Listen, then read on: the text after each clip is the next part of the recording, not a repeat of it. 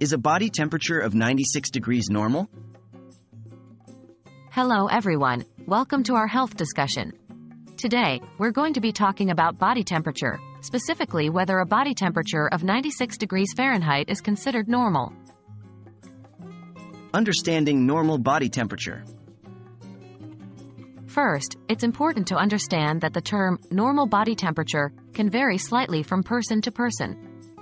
Most people think of a normal body temperature as being around 98.6 degrees Fahrenheit. However, normal body temperature can actually range anywhere from 97 to 99 degrees Fahrenheit in most adults. This can be influenced by various factors like age, activity levels, and time of day. Is 96 degrees Fahrenheit normal? Now to answer the question directly, is a body temperature of 96 degrees Fahrenheit considered normal? Well, it can be. While 96 degrees Fahrenheit is on the lower end of the normal body temperature spectrum, it's not necessarily abnormal or cause for concern.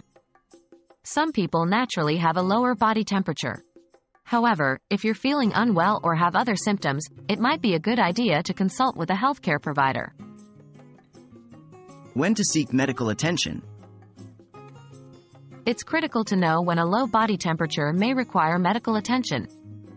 Body temperature below 95 degrees Fahrenheit is generally considered hypothermic, a condition that can be dangerous if not treated promptly.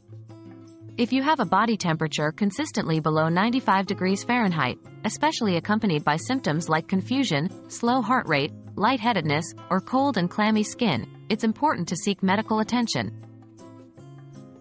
In conclusion, a body temperature of 96 degrees Fahrenheit can be considered normal for some individuals, but it's essential to pay attention to other symptoms and your overall health. If you have any concerns about your body temperature or overall health, always consult with a healthcare provider. We hope this video has been informative and helps you better understand body temperature. Stay healthy, everyone.